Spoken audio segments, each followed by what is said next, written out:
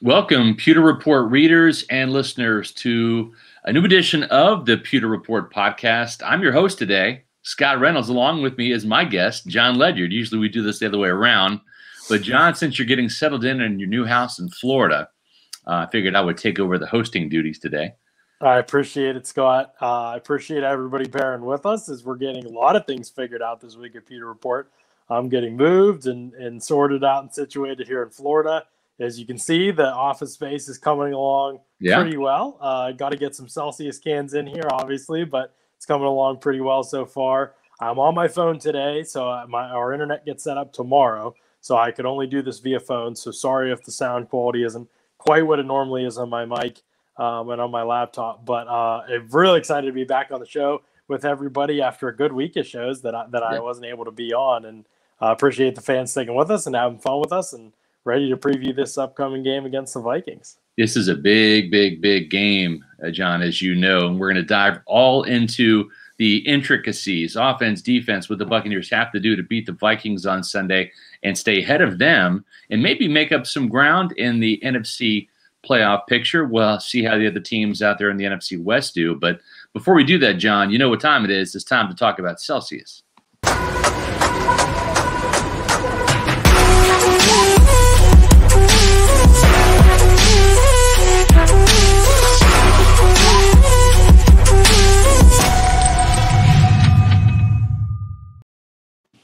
Jon, as you know, the Pewter Report podcast is energized by Celsius. And I'm going to do something I haven't done before. Um, I'm chug gonna, one. Chug I'm gonna, it. I'm going to try. I'm not going to chug it. It's it's a sparkling beverage. Uh, I'm going to try the sparkling wild berry live on air for the first time. Wow, that's the one I opinion. want.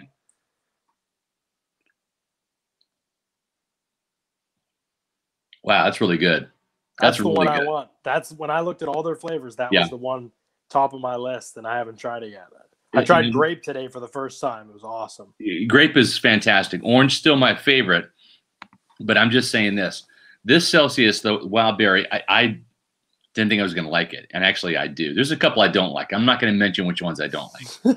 but the honesty, the transparency. Yeah, yeah. This wild wild berry is really good. It's not it's not too tart which I was expecting, and it's not too sweet, which I was kind of expecting too. Maybe that's why it has no sugar, no preservatives. So, yeah, Celsius home run with the wild berry here. So now the great thing is with Christmas and the holidays coming up, you might be asking yourself, uh, where can I go to get some of this great Celsius product for myself or a loved one? Well, here's the answer, Jon and Pewter Nation out there. You go to pewterreport.com, you click on the the Celsius banners. They're going to take you to Amazon where you can buy whole bunch of flavors like wild berry in bulk and save you some money. And if you're not sure which flavor you like, well, that's great because you can get the variety pack and then you can taste them all and see for yourself which ones are your favorites. Then you can buy those in bulk at Amazon or other retailers and save yourself some money. And uh, as as you know, probably by now, Celsius powers active lives mm-hmm. every day with essential functional energy, whether it's before or after the workout or if you just need to pick me up in the afternoon, like I do sometimes, make sure you're choosing Celsius. Yeah. I have a funny Celsius story actually, Scott. When I was I was on my way, we are on our way to Florida, and the truck's already on its way down. And so my family and I, my wife and my two kids, Kaylee and Harper, four and one year old, we're going to her sister's house in Pittsburgh, and we're flying out from there the next morning. And so we are staying there, and I brought a bunch of cans of Celsius and I forgot to put them in the bag when we left. Uh, so I left like four cans in their fridge. Well, my brother-in-law tried all he drank all four of them in like two days or something like that. So he's probably bouncing off the walls, but no also kidding. he loves them. So he's like yep. ordering like a ton of Celsius. My brother just tried one because I gave him one to try. He loves them, so he's getting Celsius. So it's I'm I'm amazed that I love them as much as I do. I it's fun to promote a product that we actually buy into and enjoy Yes. Um, and and really just pumped that Celsius is able to be partners with us on the Pewter Report podcast for sure. No doubt about it. Uh, we got a, an early comment here from Chris King. Shout out from Australia. Um, yeah, let's go. That's awesome. You know, I'm not going to do anything like good I might put another shrimp on the bobby. I'm not going to do any of that thing that would make Chris or anybody feel uncomfortable. So I'm going to save all those. Chris is cringing. those Australian accents. Um, I'm going to stash those away. Um, and notice I'm drinking a Celsius, not a Foster's, mate.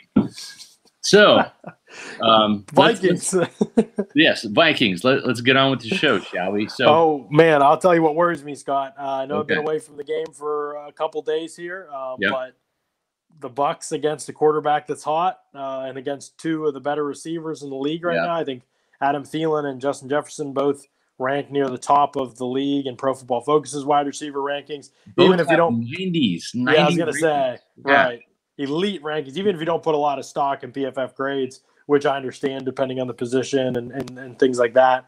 Um, there's no doubt these guys are having great seasons and they've been tough to cover. And honestly, it reminds me a little bit of the combination of Robert Woods and Cooper Kupp um, in, Yeah. with the Rams and how they shredded this secondary. Both guys are just tough, know how to get open, finish on the ball extremely well, and they're great in the red area.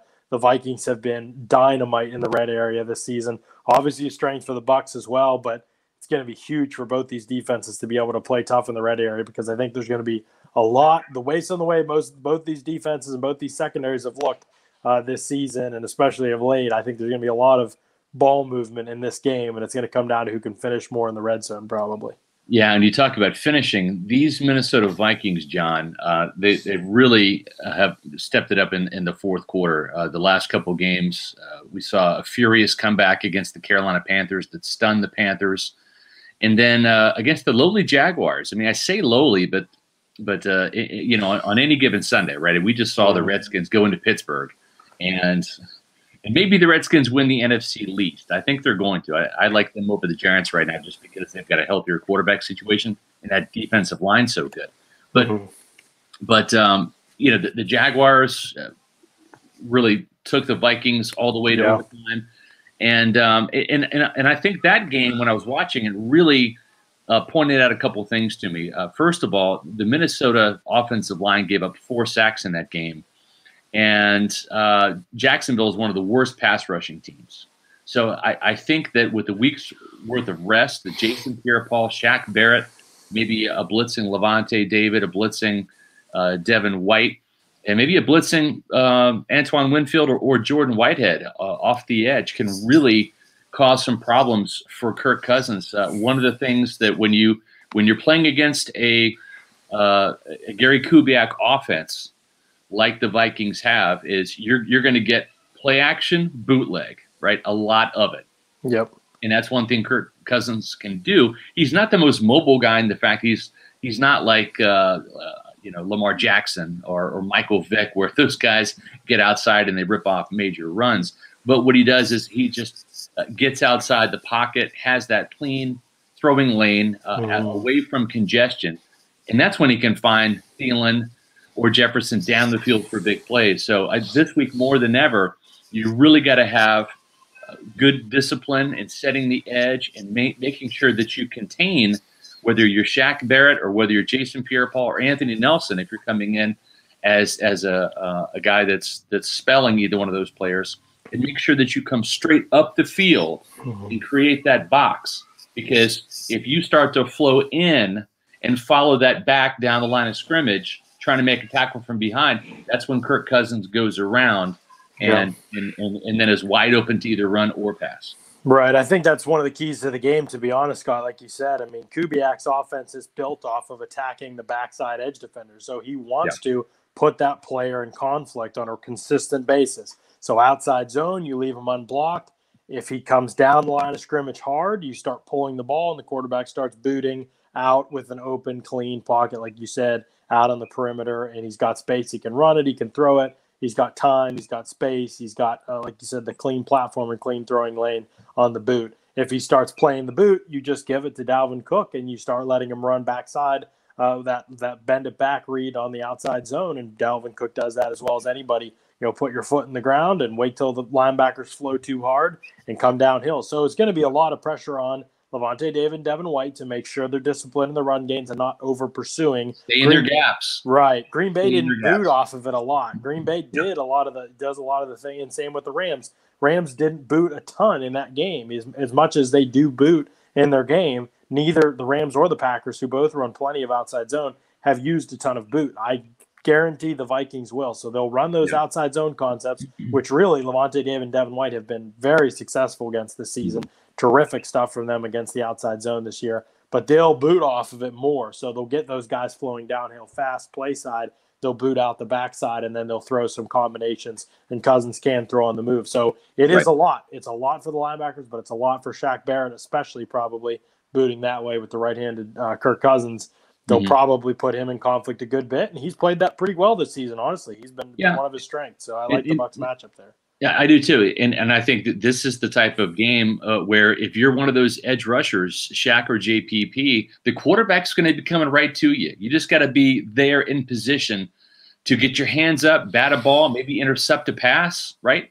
Um, or, at the very least, get the quarterback on the ground and, and sack him. So, um, you know that that that to me it it, pre- it, it presents itself an opportunity for sacks, but at the same time, if you if you're not where you should be and rushing up the field and, and having that contain with the quarterback, it can create some big time opportunities for the offense. The other thing, too, that Kirk Cousins does a very nice job of, and it caught the Jaguars' defensive line once. I would suspect we're going to see a couple of instances uh, of offsides neutral zone infractions, something we've seen too much of lately down the stretch, Jon, because Shaq Barrett trying to jump the snap count. Matter of fact, Shaq has been flagged seven times this year for either offsides or neutral zone infractions. We also saw Ndamukong Suh uh, get flagged for that. Jason Pierre-Paul, I think, has been hit once or twice.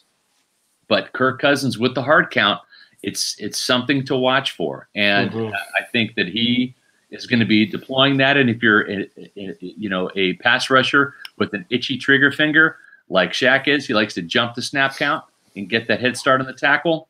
You're you're you're susceptible to possibly getting flagged five yards for the you know for and, and giving that that free play mm-hmm. uh, to Kirk Cousins, and so that's yeah. something to watch out for. Yeah, the Vikings they don't just attack you in one way. You know, for some reason, Kirk Cousins kind of billed as this quarterback who can't play under pressure, can't make plays outside of structure, and can't throw the ball down the field. Just kind of like this simple in a box quarterback, and that's really not who he is. I mean, there's the one thing that's true about Kirk Cousins is that who he is in one week doesn't necessarily matter for who will be the next week. That's probably the biggest yeah. knock on Kirk Cousins. He could be great for a couple weeks in a row, and then he could just lay an egg out of nowhere. You just mm-hmm. that's always been the thing with Cousins. He rarely is it like a complete week to week dominant, high degree of difficulty yeah. throw season. If you took Cousins' best plays and throws, you know, and, and, you would put him up against the other top guys, honestly, I think you'd be pretty impressed. It's right. not like his people act like his highs aren't that high, but they are. Like yeah. he's made some great throws in his career, some great moments. But the problem is that it hasn't necessarily always equated to team success, and so he doesn't get the respect that I think he, his level of play honestly deserves. He's a good quarterback. He might be the best quarterback they face the rest of the season based on the way he and the teams are playing. Yep. And it's a right. huge test. I mean, this secondary has been terrible, Scott, and these yep. receivers are great. And um, I just don't know how realistic it is for us to expect this secondary to step up and handle these guys, you know, Thielen and Jefferson and even the tight ends, even though they're banged up right now, unless the Bucs defensive line really carries this game and has a huge impact. I think the onus is on them to really dominate this game because the Vikings want to run it first and foremost, have to shut that down, but also if you can get pressure, and the Vikings O line isn't great in pass protection, the scheme helps them, and yeah. Have a couple guys that are banged up, Bradbury and Ezra Cleveland and Riley Reiff, all kind of banged up right now. We'll yeah. see what their status is for Sunday, but those that's where the Bucs have to win this game defensively, in my opinion. Great points, eh, but at the same time, there's a reason why the Vikings have had to come back to win some of these right. games. Mistakes. I saw Kirk Cousins take some really bad sacks uh, in that Jacksonville game, and also throw a pick six to Joe Schobert on, mm-hmm. on a, a, a, bad play. And and the thing with Cousins is if you can get pressure on him, he will throw off his back foot. And that's what happened on the pick six. So his fundamentals break down when he's pressured. It's not just Tom Brady, folks. I mean, it's most quarterbacks that way, really. But like you yeah. said, get pressure on him, force him into mistakes. And and then when when he does throw some of those errant passes, this secondary has got to to catch those. Pass breakups not going to be good enough once you get into December and in um, in the, the postseason. You got to be a hero, make some hero plays. That means catching the balls that they throw to you. And you mentioned Thielen and Jefferson. Jefferson is the guy that's really taken the top off the defense, averaging 18 yards a catch.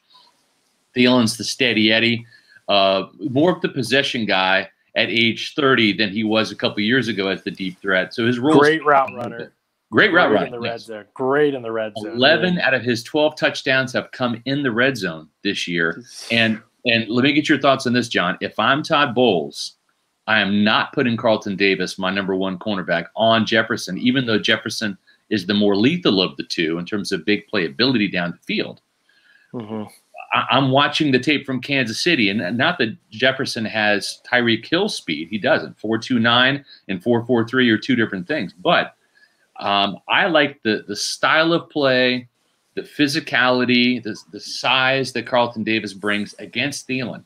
So Right. I'm matching him up one on one against Thielen and taking him away. Then I'm putting Jamel Dean with the safety over the top, and I'm bracketing uh, Jefferson. That's how Right. I would attack the Minnesota Vikings offense if I'm Todd Bowles and I'm playing defense. You know, we talked about this all season, Scott. But if you don't play press in this game, I just think you're going to really struggle because if there are two guys you do not want to give space to get comfortable as route runners, it's Thielen and Jefferson. I'd say both of their biggest strengths are probably their ability to run routes and tilt defenders and off coverage. I mean, Jefferson played in the slot all last year for LSU because he's such a good router at the top of his stem. If he gets to his route clean, he can create separation as well as any receiver in the league. And he's a rookie. I mean, he's that good at it. You cannot give him clean releases. You know, in the NFL, the biggest challenge for Jefferson, and he's been good in those situ- these situations, but you have to keep challenging him with press coverage. You cannot allow him to get off the line of scrimmage easily, and or Thielen, because those are both guys who will just eat up space if you have it. They Yeah. will get you off balance. They will manipulate you, and it's a really scary matchup if Jamel Dean even plays. We'll even see if he ends up playing. I think he didn't practice again today. I don't believe um, with a new injury now. Isn't a groin or something? Yeah, and uh, you know, th- there's still some hope that he plays because Sean Murphy Bunting's confidence has really been in the tank, and if if that's the matchup where you've got to put Jefferson on Murphy Bunting, who is again more fleet of foot than than Carlton Davis is, but uh, you've got to have safety help over the top, and I really think that the safety position outside of of uh, Jordan Whitehead, who I thought played really well against the Rams, I think the safeties have not done nearly enough to help out these cornerbacks in terms of making plays. Pass breakups haven't been there. We've only seen one inter- interception. That was that kind of hero play I was talking about, Jordan Whitehead. where, where Jordan Whitehead was just like, "Screw it, I see it. I'm going to go get it." Right Yeah. in, in the fourth quarter against the Rams, and and they got to take a little bit more chances. And and I, and Antoine Winfield, you know, Bruce Arians was kind of protecting his guy. I know he hasn't hit a rookie wall or anything. I mean, I've talked to plenty of NFL players that are rookies. There is such a thing as a rookie wall. It's real. Hopefully, this week off has recharged Antoine Winfield's batteries a bit, where he can get focused for this this stretch here. But he was making more plays at the beginning of the season than he was uh, down the down the stretch here, and he's a player that really has got to step back in to uh, that role as a playmaker and make some more plays. About these cornerbacks, Jon? Yeah, I think part of the problem is Scott that the Bucs play so much single high coverage that it's become really difficult for them to get the kind of production they need out of the safety position to make those kind of impact plays. And and you talk about helping out helping out corners. It's a lot harder to do when you're in the middle of the field. You know what I mean? A lot more just- grass to cover. a lot more grass to cover, a lot more anticipating. You got to take care of other stuff first. Uh, so, you know, the biggest change that the Bucs need to make, honestly, especially, you know, maybe against Minnesota, you might be able to be, you know, to be get away with it because Minnesota, if there's one good thing, they try to establish the run pretty heavily usually before they get to the pass game. That's why they have to come back so often. Not that they aren't good at running it, it's just you don't live and die in the NFL today on the run game. You know, you got to be able to throw the ball, and so um, unless you have a dominant defense, maybe, and they they haven't had that this season. Although the units been been better certainly at some in some areas as the year's gone on, but that to me is one of the biggest things. If you're gonna face some of the teams they're gonna face, and you're gonna play single high coverage, your corners are gonna be on the island a lot of the time. And you look at teams like Indianapolis, and you look at teams like the Rams. And I know you know Jalen Ramsey, but you know a lot of these other corners are like, man, who the these Xavier Rhodes is having this bounce back year, and you know uh, Rock Sin, and like all these, you know they're they're all uh, suitable for the Colts. And who was it the other day that was playing? The, Washington. You know Washington's playing the other day, and their secondary is like third in the league or something. And you're like, what? I don't know any dudes on this team. It's Yeah. just because they play good team football and they Yeah. play two high safeties and they understand, hey, this is how we got to defend and we can do this and we can still stop the run. the Bucs have not understood that they can still stop the run in those situations, and so because of that, their corners are on an island a lot more than they should be. Don't think you can get away with it the rest of the year and be successful like they were at the beginning of the year. Um, Got to start playing two high safeties, I think. Stopping the run, boy. I mean, and and this is the game where I don't think you're going to see a lot of cover two, Jon, for that reason, right? Todd Bowles is is is manic about stopping the run. You got the second leading rusher in the NFL, Dalvin Cook, 1,250 yards, averaging five yards per carry, 13 touchdowns on the season. He's coming off of a game where he had 179 yards of total offense, 59 yards through the air as a receiver, and 120 yards on the ground. And he, he can rip off big plays. He's he's got five runs of 20 yards or more. Actually, Rojo has more than than Cook does with six. But we're going to see a, a matchup of, of two of, of the top four running backs in the league on Sunday as as Cook and Rojo go head to head. Uh, when you look at Dalvin Cook as a receiver, Jon, boy, he is the envy of what the Buccaneers want out of a, of a pass catching back. This is a true three down back, first, second, and third down. He's caught 35 of 43 targeted passes for 314 yards, averaging nine yards per catch. Jon, I know you're jealous about that number after oh what Rojo and, and Leonard Fournette have done around six this year and he scored a touchdown. So uh, th- this this is a player that does not come off the field for for the Vikings. He had, I believe, 38 touches in the last game. He says he's fresh and feels good, and um, and I get a funny feeling he's probably going to be getting a similar amount of, of workload this week because whether the Bucs are are ahead or trailing, he's not going to come off the field. So he'll, he'll, he'll either impact the Vikings game plan as a runner or if they're falling behind, the need to play catch up as they have. Um, he's still in there as as an outlet receiver, a guy that's deadly on screen passes. Yeah, he is a very unique player. I don't think, I think you could honestly make a pretty strong argument for Dalvin Cook that he's the best running back in the NFL, and in the comprehensive sense of the word running back. It's not just running the ball, but it's pass protecting, it's receiving, it's being able to get open on routes. He can really do everything, and so. Yeah a guy like that is super valuable. And people love to talk about Nick Chubb and Derrick Henry, and it's great when they're running the ball and the O line's clicking. But those guys don't make contributions on all three downs the way Dalvin Cook and Christian McCaffrey and Alvin Kamara can make an impact. And look yeah. at what Cook's producing this season. Um, you know, I just think he's having a heck of a year. And so tough guy to stop. The Bucs have matched up pretty well with those types this season. They match up better than most teams do on paper. Mm-hmm. Um, you know, so you like their odds of at least limiting him a little bit, but it comes down to Cousins and these receivers late in the games. They've gotten it done. Think about their last couple losses, Scott, and and this goes to the Vikings defense, which I know we're going to talk about too here. But it's pretty amazing that the Vikings have given up three defensive touchdowns in the past two weeks that I can even recall. Two against the Panthers on back-to-back plays. Yeah, and ended up winning that game still, which they should not have won. I can't believe they won that game. And against the Jaguars as well. They gave up yeah. the touchdown to start the second half on the pick six on the screen yeah. pass. There was a miscommunication. And so it's amazing they've been able to over even against bad teams. Yeah. They've been able to overcome those things and win football games. And those are typically not sustainable ways. So again, the Bucs, you know, they're going to look at this game and say, oh, you know, they, they were down to the wire with the Panthers and Jaguars. And there's some truth to it. And yeah. Minnesota is a team that Bucs are obviously better than, but they can't come in with that mindset. There's got there's got to be you know business like approach to this game. I mean, more so than maybe any game this season. I mean, this is a massive, massive game. Obvious playoff implications. Um, even with other teams in the NFC struggling, you know, the Bucs could still make it if they lose this game. Right. But no one's taking you seriously if you lose this game and you limp into the playoffs off beating the Falcons twice sure. and the and the Lions. Twice. And you know what, Jon? Here's the more important thing. If they lose on Sunday to the Vikings, that's four straight losses at home for this team. Now, home field doesn't really mean anything. It, the Bucs aren't going to play at home unless they somehow get the fifth or sixth seed, and they're playing in the NFC Championship game against the seventh seed. Right, that's the only way that there'll be a postseason game at Ray J. And again, as Bruce Arians pointed out this week, uh, Seattle, Green Bay, teams that they could be facing, maybe LA. Uh, there's no crowd noise, and that's usually such a factor uh, in in the postseason because of COVID nineteen and these empty mm-hmm. stadiums. But when you look at the schedule, and the Vikings have won five of their last six games.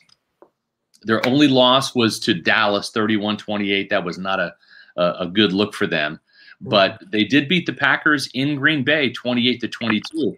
And the rest of the teams they've beaten have been kind of underwhelming. Mm-hmm. Detroit, Chicago, Carolina, Jacksonville. So uh, it's you know this this is a quality opponent for for not just the Buccaneers to face and the Vikings, who are now six and six, but but this is also a this is also a um, uh, a team in Tampa Bay that needs, I think, to have a, a quality win here too. It's it's not right. it's not for the the rankings, right? Because your record is your record. This is college football. Um, a, a, win by one point against any team counts as a blowout. It counts as much as a blowout against uh, another team. But but my my point is this: you do want to get hot, and I think coming out of the bye week, it would be such a deflating deflating factor for Tampa Bay if they were to lose three straight games now and then have to go on the road to a, a very much improved Atlanta team. You don't want that if you're the Buccaneers. You no, want to win these games, get some confidence. Right. This is such a huge game. I, you can't overstate it enough. You can't. Uh, not only for, I mean, you're coming off back to back, a pair of three point losses to the Rams and the Chiefs, who I think are two of the best. I think the Rams are really good. I know they've lost to the 49ers twice, and so everybody's like, how is that? You know, and the 49ers aren't going to make the playoffs probably. Uh, but I think they they match up. The 49ers are a weird matchup team. You know, you yeah. say what about the Packers last year? Packers just got killed by the 49ers. They had a great year. They were a good team. They're a good team again this year. They got killed by the 49ers twice. They couldn't do anything. And I think the 49ers give some teams problems that don't. I think the Rams, you get into the playoffs against the playoff field, I think they match up extremely well. So we found out that the Bucs aren't quite ready for the big dogs, for the biggest of the big dogs, in my opinion. Right. But you got to be well ready to handle a team like Minnesota. You know, Carolina was playing good football. The Bucs came out and they handled them. They started slow, but they right. handled them. You know, the Raiders were playing good football at the time. I don't know what they are now. They look like a playoff team. They're you know they beat yeah. the Chiefs, and you know it's a good football team. And the Bucs came out and waxed by the Falcons. Exactly, they, they, handled them. You know, they, yeah. they handled the teams that they that you feel like aren't on that level of late. Now they got to continue to do it. The Vikings are a good football team. There's no doubt. That one and five start you know, think about the loss to Seattle last play. I mean, think some games like that swing uh, a season real quick. But this is a team that can compete. They would compete with anybody, I think. Yeah. You know, other maybe um, everybody's compete with Kansas City. So Kansas City too. Vikings can compete with these teams. Um, but the Bucs got to take care of business. You know, the final score doesn't matter, but right. making sure you finish this game and win this game is crucial. You cannot lose this game. I don't wouldn't I won't even care about whether they're a quote unquote playoff team if right. they lose this game. We'll be done talking about them as a serious contender for 2020 and 20 the 2021 Super Bowl if they are not if they don't win this game. This is a must-win game for them in that capacity. We find out how seriously we can take this team. Yeah, if they come out here and struggle and it's just a slot fest on both sides, we've got to figure out what they're about next week, you know. But if they right. come out and dominate, or even if the scoreboard doesn't show, if they come out and do what they want offensively, roll up some point. I mean, offensively is where this game's big, right, Scott? Like, oh yeah, we know the Bucs defense is probably not going to be one of the best units in the league the rest of the season. There's too many right. holes. There's too many issues with the scheme. I don't think Bowles has shown enough indication of stopping that at any point. So, you know, I think the Bucs defense got to hold their own, but the offense is really if this team's going to go anywhere, it's all about what the offense does, and especially Tom Brady, Mike Evans. I wrote about it today yep. over at PewterReport.com. Mike Evans I think he's got to be great, Scott, this season. Yeah. I don't think he's I don't think being good is enough. I think most of the season he's been good, but there's been opportunities to make plays for Mike Evans, especially when you think back to the last game against the Chiefs. He didn't make. I know it's sacrilegious to accuse Mike Evans of not making plays. And trust me, I love the dude. He's one of my favorite players I've ever covered in the NFL. Yeah. I love him as a person, as a player. But um, again, you'll hear me say this a million times. My job is to be unbiased and just say what I see on tape. Sure. And I thought on tape, I said he was great against James Bradberry, even if the numbers weren't there. He was yeah. great against Jalen Ramsey, even if the numbers weren't there. Right. He well, wasn't as, that great against Kansas City, and the numbers could have been there, and he missed. You know what? To make plays. As Keyshawn Johnson once told me, playing wide receiver might be the hardest thing in the NFL because there's four different guys that can stop you. Number one, a cornerback. Number two, a safety. Number three, your own quarterback who doesn't get you the ball. Number four, the offensive coordinator who doesn't make sure that the quarterback doesn't give him the ball. So um, we, we will talk about Byron Leftwich. I was going to say, in a, just a second because we had we had quite a, a, press conference, a stunner today on uh, on the Zoom calls. But um, uh, it, listen, I, I threw up the MyBookie promo code pewter banner. So you know what that means, Jon. It's time for me to talk about MyBookie. It's the most wonderful time of the year. We all deserve a win. We all deserve a little extra money in our pocket. And we all deserve to have a little fun, right? The only place you're guaranteed to get all three is at MyBookie. They're the only place that doesn't care whether you're naughty or nice this year in terms of, of a sports book. They're the sports book that I've used for three years now, and they've got gifts for everyone bet the NFL. You got NBA and NHL starting up just at the start of 2021. College football still in, in effect right now, and the college football playoffs will be here before you know it. Sign up today at MyBookie and receive the ultimate stocking stuffer, a 50% bonus when you make your initial deposit up to a $1,000. So that's a great place to start, right? But we all know what Christmas is about. It's what's under the tree. And at MyBookie, that means huge deposit bonuses, epic giveaways, and free contests. It's simple. Sign up, enter that promo code pewter, and get your deposit matched halfway up to a thousand bucks.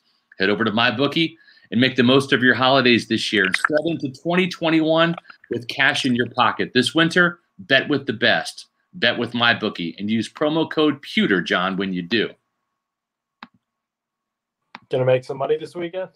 Yes, I, I, just I literally before the podcast started went to MyBookie and I threw down on my five dollar bets. Uh, I, um, I I'm not going to jinx myself. Um, I went with a lot of of underdogs on my college money line. You know that's where I like to go, and I also did some um, underdog betting in the NFL. And I will tell you how I fared on Sunday's podcast, which will be after the game. Our next podcast, the Pewter Report podcast, will We'll wrap up and put a bow on the Bucs and Vikings Sunday night. So we'll have that podcast for you. I think around eight o'clock, Jon. It's kind of what we talked yep. about.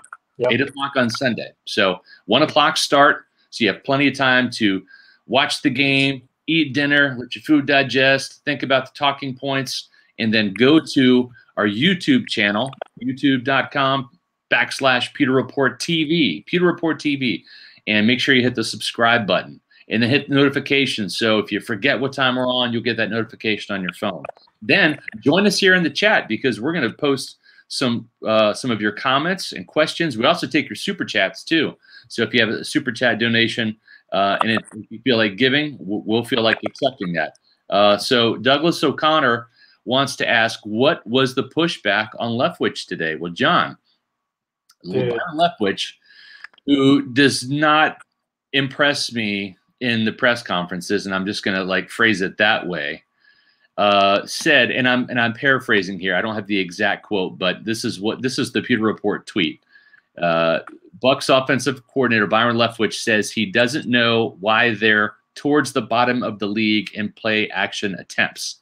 They can be better at getting more attempts, but it all starts with running the ball consistently so they can call play action consistently. Now, um, I replied to our own tweet and I said, You're the OC, and you don't know why you aren't calling more play action passes?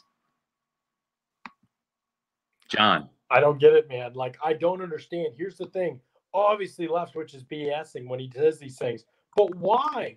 I don't understand. Like, just give us a real answer, man. You're a person. Like, we're people. Let's just talk. Like, yeah. you don't have, like, he's intentionally accepting the fact that he's going to sound stupid because he doesn't want to have to explain himself. I just don't yeah. understand. Just explain yourself, man. Like you know what? Your mindset. Like you're going to say, "Oh, you have to establish the run to be able to do it." I know he ends up saying something along those lines anyway, but it's like, dude, this is ridiculous. Like you know you don't. You've called play action passes, successful ones, in games where you barely ran the football, and in games where you're trailing significantly. Yeah. So I, you know, wh- why are you BSing us? Like just say you don't want to call that much play action or say you have other things that you like that work or just i don't know right. say anything but or, or you can say know. or you can say you know we haven't done that very much uh, in the past and who knows we might do more th- this month we might do more on sunday right but to sit there and say i don't know why That just, sounds ridiculous. Right. Like it sounds ludicrous. Right. And obviously, like he's thought about it and obviously he knows it because in the NFL. You can't, you know, right. he opens himself up to getting trashed, which he's gonna say, I don't care about. But at some point, guess what? It matters what other people think. You know, at some point it sure does. We always say, Oh, I, you know, I want to do I don't care what other people think. And I'm at the top of that list and saying that and living that way to be honest. But at the end of the day, at some point it does matter. Like in, yeah. at some point you do sound foolish when you right. talk like that. And there's just no purpose for it. Like he, you to a degree, you act like you're the smartest guy in the room to the point where you don't need to explain yourself, and it just ends up being a bad look for you. Like at some point, you know, everybody needs to be accountable. And how many times have we heard Byron Leftwich point the finger at himself and say, you know, we need to do that. Like this is something I need to do more of. You know, this and yeah. then do it. You know, right now there isn't enough of that. And when you think you're the smartest guy in the room, you're usually not. And it's that kind of a mindset, in my opinion, that plagues the Bucs offense because there's a lot of things they need to change and learn to become more modern in their approach that will be more successful and make life easier and better mm. for everybody else on that offense. And they aren't doing them. And I wonder if it's some of this mindset like we don't have to explain ourselves. We've seen the fact that we put up yards before in this offense. We know we'll do it again, and we're going to keep doing it until that happens. And I just don't think that's the way to be successful in today's NFL. Not saying they can't be yeah. successful and there aren't good things about what they do, but if you're going to reach peak success, look at all the best play callers and offensive minds in the game today, like Kyle Shanahan, Matt LaFleur. These guys are telling you what they don't know, and they're constantly trying to learn and yeah. evolve, and they're open and they're honest about that process. And that has not been the case in Tampa Bay. Whether it is behind the scenes or not, we'll see. But it hasn't been in front of the fans. And you know what? Uh, listen, Byron Leftwich is is somebody who has been kind of uh, not by us, but talked about as being a potential head coaching candidate. You know, and um, I mean, I, I, would I would take a chance on Eric Bieniemy first, right? Sure. Um, right. Um, yeah. Yeah, I, I, I would. Yeah, I would not. I would. I'm going to bite my tongue. I'm. Hey, I'm going to hey, bite my tongue. Team, go get him. yeah. What, yeah. what Earl Thomas say? He went to the Cowboys lockers. Come get me. That's what I'm, I'm going to come get him. Yeah, um, I, will, I will say this, right? Because Byron Leftwich has taken a, a lot of criticism and, and, deservedly so, and it's come from you and I and Buccaneer fans and, and the Pewter Report staff. I will say that I asked Tom Brady today um, about him taking over like the play calling duties in, in, the respect that that he he's 12 games into this offense now. He's got a better understanding of it, and he has the ability that Jameis Winston didn't last year of making those audibles at the line of scrimmage and changing the plays. And and, and I kind of heard from Tom Brady that that he was taking more ownership of it and getting this team into you know better looks and better plays. And and and he's he stated the obvious. He said that that you know there's no way that uh, that an offensive coordinator can call a play and know that it's it's necessarily going to work before the defense lines up, right? You're you're making a call of either we want to do this regardless of what they're in, and we hope that we've done enough study, film study that typically in in third and long we're going to get this look, and and their tendencies are to do X, Y, and Z. So we're going to put the play we think is going to work best against that. That's the that's the call that that Tom Brady gets in the headset. But right. he he is having the final say so about whether that play is executed or not. So I would not be shocked if we see this become more of Tom Brady's offense, not the Tom Brady's playbook, not the New England Patriots offense. This is still Bruce Arians' offense. But you're going to see, I think, over the next four weeks, Tom Brady say, I'm the most experienced guy here. I'm the guy who is going to be handing the ball off or throwing it. I'm the guy who's got more Super Bowl rings than anybody in Tampa. You can put them all together and add them up, and I'm probably number one. Um, and, and, and I want that. I that's why you bring Tom Brady here. That's why you pay him 25 million dollars a year. Is you want the goat? Okay, well let the goat call the plays rather than Byron Leftwich. That's what I'm saying. Right. I mean, especially the line of scrimmage, like you said, you're right. Like the smarter your quarterback is, and the better looks he can get you into. They're the only ones that see, you know, the plays, you know, see the lineup and everything, and know um, what come in and what can hurt the defense best. And so, yeah, having a quarterback like that, huge for getting this team in better looks. There's no question about it. And you know, let's just be honest. We look at a lot of these things and we say, yeah, hot quarterbacks, good receivers. That doesn't really bode well for the Bucs defense based on what we've seen for the last month of the season. But offensively for the Bucs. They're about to face three of the worst pass defenses in the league, and three yeah. of the pass defenses in the league that have given up the most vertical, big, deep passing plays down the field, which is what Bruce Arians wants to do. So again, I'll say this all day: you won't find three defenses in this league to go up against right now in a row that are better to get hot and get your kinks ironed out against than these three. We can talk about the Bucs defense all the day. Yeah. I think they'll struggle. I think they'll see their ups and downs. Bucs offense got to own the last month. They got to. They got to hit big You're plays. Right. They can run the ball. These are not great pass rushing teams. Some of them have gotten a little bit better, but as a whole, these have not. Been. I mean, the Lions are like ridiculously bad, like historically bad for like the last three seasons under Patricia. And I know he's gone now, but yeah. they just don't have a lot of pass rushers. This is a team. The offensive line should be able to win. Brady should have time. Receivers should be able to win matchups. Tons of rookie corners across the board. You're talking about the Vikings. They've got inexperience at corner, rookies at yep. corner, Gladney and Dantzler, who have both played better of late, no question about it. But these are rookies going up against three of the best receivers in the NFL. Like, I'm not. I'm tired of excuses. I'm yeah. tired of. I, mean, I know the Vikings have really good safeties. They're probably going to play a lot of two high to get these guys involved. Get yep. your two high beaters out and, and run them against this team. Don't just run forwards and, and have the Vikings play quarters all game, but get right. creative and find ways. This team's going to play two deeps. You better be able to run the football. If the Vikings are going to play that yes. way, the Bucs got to run the football. The Vikings do not yep. have a, the formidable defensive line they've typically had. No Danielle Hunter out there, no Everson Griffen. no Linval Joseph. Those guys are gone. You have to be able to be successful in those things. There's no excuses for the Bucs offense. You're right. Not anymore. Last month, they've got to be one of the best offenses in the league. There's no no way around. Trivia question: Who is the Vikings' leading sacker this year? Gosh, if I would have had internet the last couple days, I could have told you. Let me think. I know it put you on the spot, my friend, uh, but it's actually a trick question. Here's the trick. It's a tie. No, the, the leading sacker for the Vikings this year is Yannick Ngakoue. But the oh, problem man. is he's in Baltimore now. Yannick Ngakoue had five sacks to start the season, and then they traded him to Baltimore. So they traded the one guy that was good after they yeah, traded for him. Yeah, they, they did. And so out of Minnesota's 21 sacks, five of them are gone, right? So they have 16 sacks in 12 games if you take out those five from Ngakoue. And uh, Ifeadi, uh, Ifeadi's probably the leader after that, right? He is three and a half, and he had one for a safety in last week's game. Then you have Eric Wilson with three blitzing, and then you've got uh, DJ Wonnum with three. Uh, their designated pass rusher Hercules Mata'afa is uh, has got one and a half, and Jaleel Johnson, the defensive tackle, one and a half.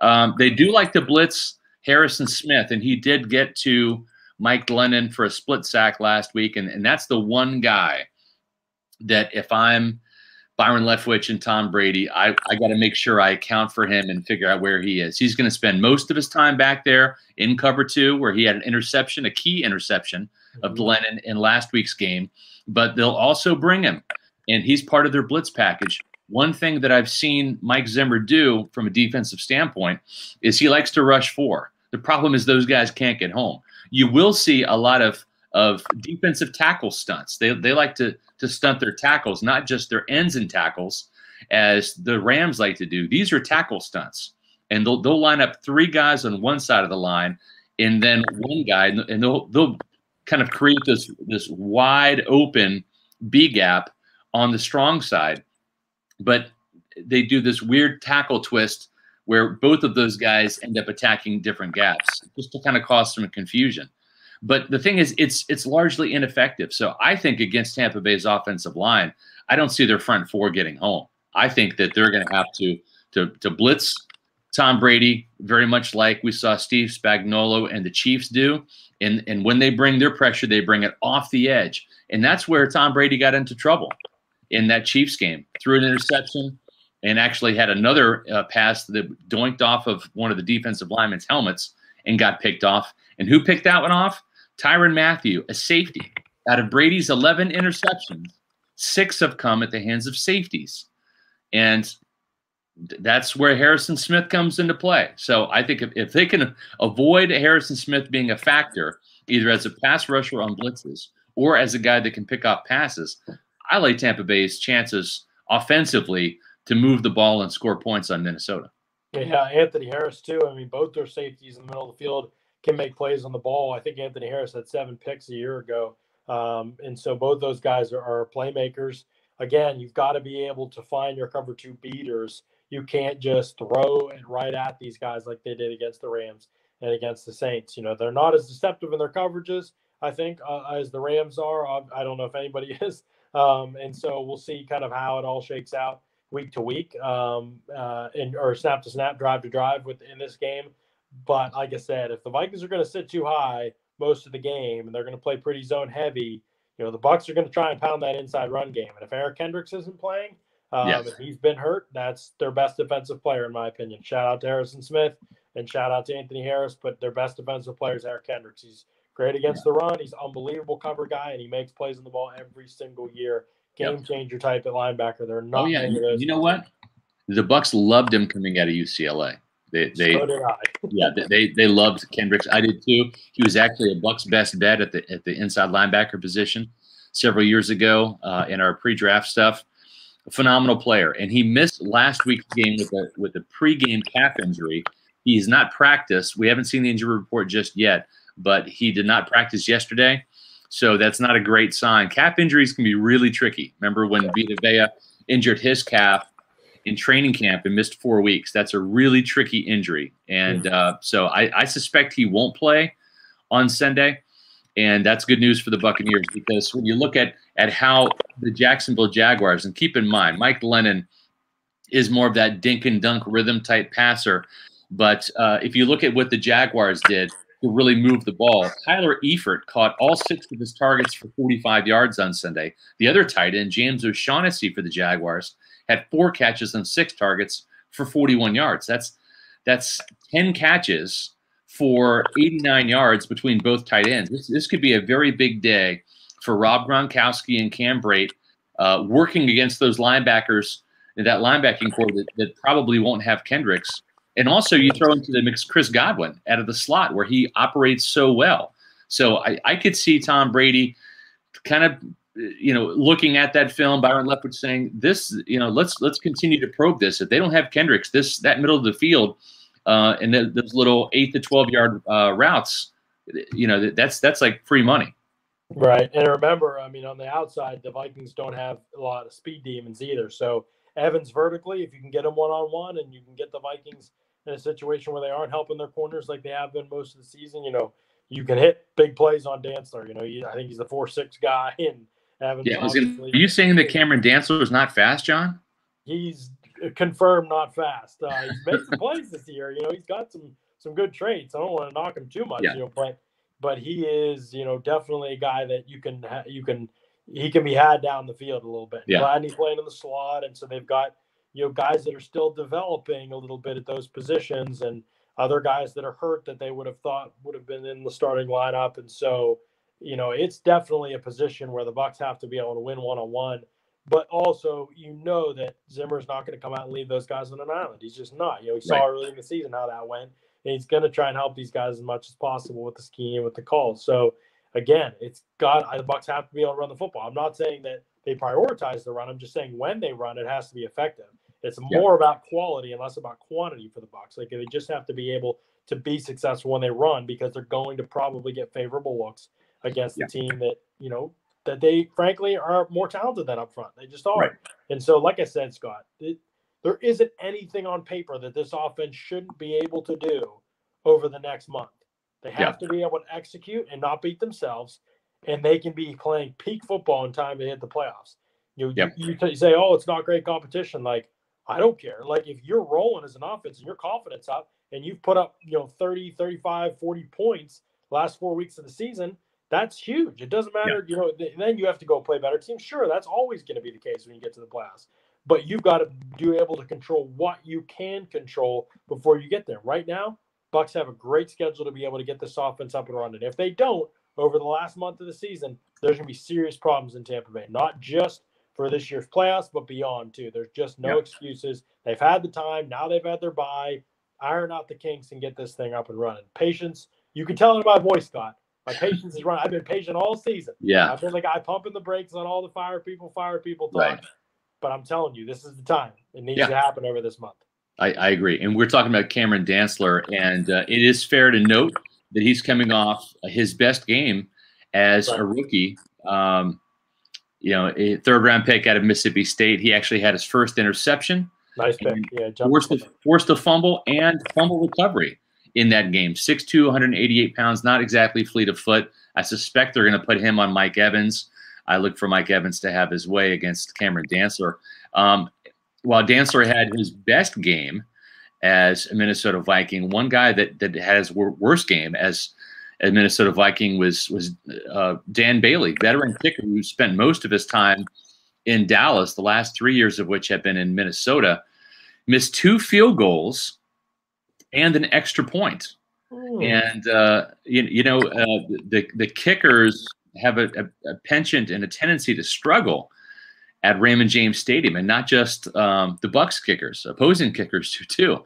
So we will we will have um, uh, I think a, a, kicking showdown at Ray J as well. And I like Ryan Succop's chances. This is a guy that has missed a total of four kicks. They're really, when you break it down, two field goals, two extra points.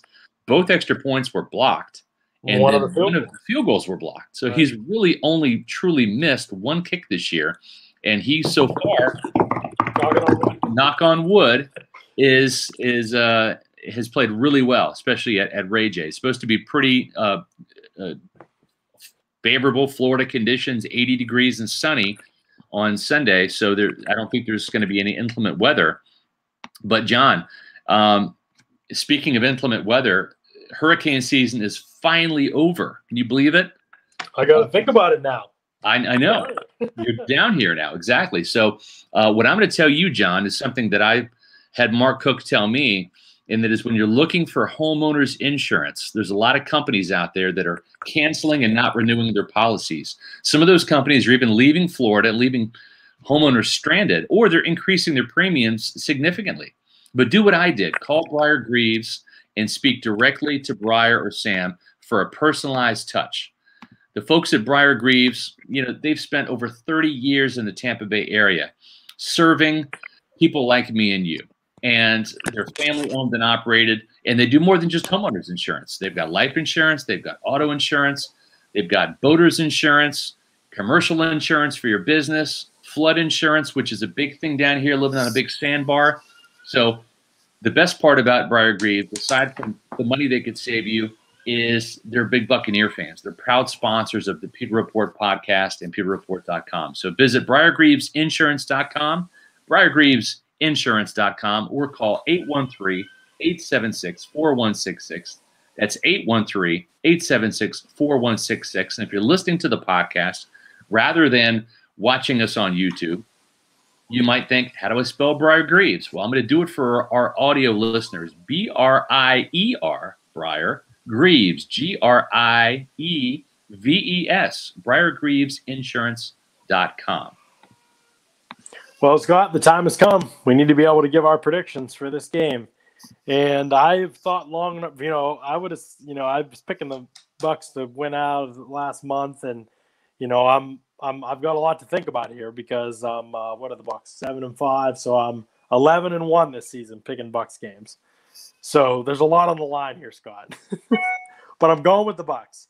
I don't think you can pick. The, I said this earlier this season against uh, what, what, team? What game was it? Oh, the Panthers. It was the Panthers yeah. game after they got embarrassed by the Saints. I said you cannot pick the Bucs to lose this game if you think they're still a playoff team. If you think they're an actual right. contender. Can't do it.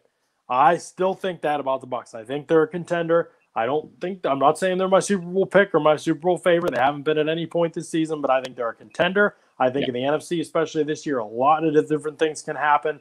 It depends on matchups a lot. I've said that. I like the Bucs to get hot over the last month. Will it mean anything? We'll see. We'll see who they match up against. We'll see who's healthy. We'll see who's playing. I'm not really worried that worried yet about talking can this team win a Super Bowl. I'm worried about can this team be a contender by the time the playoffs come around.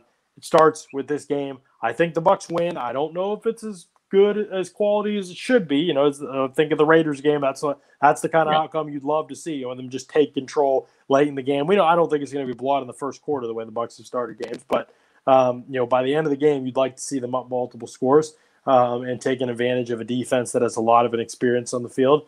But the Vikings are tough. They've been playing everybody tough, even if it hasn't been great competition. You mentioned You know, like five six weeks ago they beat Green Bay, and that was a that was a game nobody expected to see go the way it did, and that started their kind of run here back right. to 500. And so I think the Vikings are a tough team, but I think they start to plummet in this game, and they finish the season closer to eight and eight, and the Bucs start working their way toward what will hopefully be an 11 and five finish to the season. I'm going 31 to 26 as my final score. Okay. Um, I thank you, Edward, for that comment. I appreciate it. Um, I, I, too think that, the Tampa Bay wins this game. Uh, I, I, like the fact that they've had the bye week to to really have some extra time to prepare for this one, get healed up, and uh, and and I suspect that the Buccaneers start their playoff run here. I'm more concerned about next Sunday's game in Atlanta against an improving Atlanta team than I am about this. Now, if Julio Jones plays in that game, I'll be I'll be super concerned. If he doesn't, I, I like the Bucs' chances because he's a big time playmaker. But I see Tampa Bay putting up enough points. I think it's going to be a close first quarter, and I think the Buccaneers gradually do a little bit more in each quarter, and then the fourth quarter they really kind of put the clamps down. And that's a quarter that, that Kirk Cousins has really been spectacular. Right. I think Tampa Bay's pass rush is going to be revved up. Both those teams have played, you know, play their best football in the fourth quarter, basically. So yeah. it'll be two slow starters we've got. yeah, exactly. So uh, that being said, I like Tampa Bay in this one, 34 to 23. I think that there'll be a late touchdown. It's a close game until the Buccaneers score late, and then they kind of pull away at the very end. 34 to 23 is the score. And your Tampa Bay Buccaneers, all of a sudden, eight and five, and they have bettered their win total from a year ago and already showing some progress with three more games to go. Jon, we talked about our our season predictions uh, to finish the season in December. You had the Bucs at four zero. Oh. I have the Bucs at three and one. We both have the Bucs beating the Vikings. We wrote about that on Tuesday in our Pewter Report roundtable. So go find out what Matt and Taylor and Mark also had to say about their finishes in terms of their predictions. And for more Bucs Vikings preview and the predictions of Matt and Taylor and Mark, you can check out the Pewter predictions and preview that's going to come out Friday afternoon on pewterreport.com. My SR's Fab 5 also comes out tomorrow morning at 10 o'clock. Make sure you check that out. Every year I do what uh, what I call the future forecast, where I take a sneak peek at what's ahead for the Buccaneers off season. Now, yeah. keep in mind uh, that column was usually very well received because a lot of Buccaneer fans were thinking about the off season in October or November in years past when this team's only won like four games it's fun that the narrative has changed and this team is seven and five now. Right. And, and maybe we don't really start thinking about the off season until mid to late January rather than right after the start of the new year as the season has come to a close right around that time too often over the past uh, dozen years. But check out Saturday or Friday's uh, Fab Five with the future forecast, and and uh, that'll give you a good primer uh, as we look at where the Bucs stand salary cap wise, which free agents uh, Tampa Bay has, who might come back, who might get the franchise tag, uh, who are some players that might be eligible for either pay cuts or contract restructures to create more cap room. So all of those those topics are discussed in tomorrow's SR's Fab Five. For Jon Ledyard, I am Scott Reynolds saying we'll see you Sunday night at 8 o'clock after the Bucs Vikings game here with another edition of the Pewter Report podcast. Out.